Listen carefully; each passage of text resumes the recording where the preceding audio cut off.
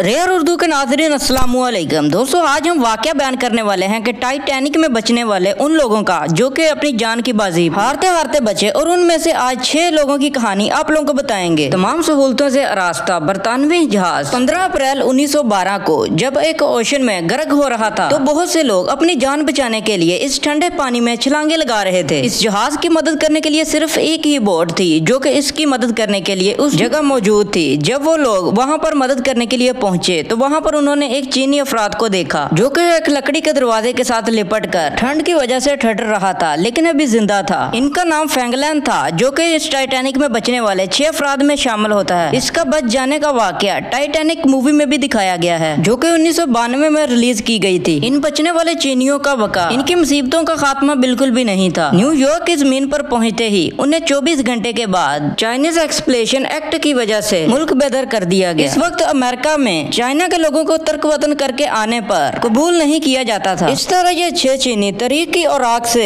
गायब हो गए। ताहम हाल ही में एक चीनी दस्तावेजी फ़िल्म दी सिक्स जो कि इस हादसे के तकरीबन 109 साल के बाद रिलीज़ की गई थी जिसमें इन छह शख्स के ऊपर रोशनी डाली गई है। फ़िल्म में टाइटैनिक से हटकर भी बहुत से मौजूद का हवाला दिया गया है। ये तमाम लोग जजार हेलमिन जाना चाहते थे। बरतानवी फ़िल्म साज और द सिक्स के मालिक आर्थर जॉन्स कहते हैं की इन पर हमारी रिसर्च बहुत कम है और इनके वाकयात की छानबीन भी बहुत कम मसूल हो पाई है। इन छह चीनियों का नाम टाइटैनिक में सवार होने वाले लोगों में शुमार है और इस जहाज़ के वाकत के बारे में छपे हुए अखबार में भी इनका ज़िक्र देखने को मिलता है। मगर तरीक दानों और महक्तीन के मुताबिक इनका ज़िक्र इस हादसे में बच जाने वाले और लोगों के मुकाबले इनको बहुत कम मिली और इन्हें सराहा गया। मगरब में चीनी, मगरब में चीन मुखालफ जज्बात की वजह से इन्हें सराहा गया और दूसरे लोगों को मीडिया के ज़रिए बहुत ऊँचा और बढ़ा चढ़ा कर दिखाया गया था। मिसाल के तौर पर दी ब्रोकलिन डेली ईगल में इस हादसे के बाद इनको एक ऐसी मखलूक कहकर बयान किया गया है। खतरे की पहली लहर में लाइफ बोर्ड की नशिस्तों के नीचे दब गई थी। आर्थर जोन्स का कहना है कि मेरे ख्याल में हम आज भी वही चीज़ देख रहे हैं। प्रेस तारकिन वतन को कुर्बानी का बकरा बना रहा है। मीडिया में आने वाली दूसरी खबरों के मुताबिक इन छह लोगों ने औरतों का लिबास पहन लिया था ताकि इन लोगों को देखकर लोगों को तरजीह मिले। टाइटेनिक के मोरिक कहते हैं कि ऐसा कोई सबूत नहीं है कि उन्होंने अपना बेस बदल लिया हो। इन्होंने बीबीसी को बताया कि ये तमाम कहानियाँ मीडिया के ज़रिए और लोगों के ज़रिए ही मैदान में उतरी हैं। अमेरिका में दाखिल होने की इजाज़त न मिलने के बाद इन छह अफराद को क्यूबा भेज दिया गया था। वहाँ से ये लोग बहुत जल्द बरतानिया वापस आ गए, जहाँ पर जंग अजीम के बाद बहुत से फौजी रानों की कमी हो चुकी थी। उसके बाद चैंगचिन इस हादसे की रात के बाद मुसलसल बीमार होते चले गए और आखिरकार 1914 में नमोनिया का शिकार होकर इनका इंतकाल हो गया। इनको लंदन के एक कब्रिस्तान में दफन किया गया, जिनकी नेम प्लेट नहीं थी। उसके बाद बाकी चारों लोग एक साथ काम करते रहे। इन्होंने 1920 तक एक साथ काम किया। इस वक्त मुल्क जंग की वजह से शदीद बहरान में गुजर रहा था। इनमें से कुछ लोगों ने बरतानवी औरतों से शादी रचा ली थी और उनको अलादे भी हुई। लेकिन वतन तर्क पॉलिसी की वजह से इनको अपना मुल्क छोड़कर जाना पड़ा और अपने प्यारों को भी छोड़ना पड़ा। इसके बारे जोन्स कहते हैं कि उनका कोई कसूर नहीं था। ऐसे बहुत से लोग हुकूमत के हथे चढ़ गए थे, जिनका उन पर कोई अख्तियार नहीं था। इस तरह ये लोग भी अपने अपने मुल्क में बांटे गए। इस जहाज़ टाइटेनिक का दावा था की ये जहाज़ कभी नहीं डूबेगा, मगर ये जहाज़ बच जाता अगर ये लोग छह गलतियाँ ना करते ये छह गलतियाँ बहुत ही टाइटेनिक की सबसे बड़ी गलतियाँ थी, जिसकी वजह से ये जहाज़ डूबा। वो गलतियाँ क्या थी, उसकी मुकम्मल वीडियो देखने के लिए ऊपर आई बटन पर क्लिक करें या नीचे डिस्क्रिप्शन में लिंक पर क्लिक करें। दोस्तों, अगर वीडियो अच्छी लगी हो तो वीडियो को लाइक लाजमी से करना और चैनल पर नहीं हो तो चैनल को सब्सक्राइब कर देना। ऐसी और इन्फॉर्मेटिव वीडियोस देखने के लिए अल्लाह हाफिज।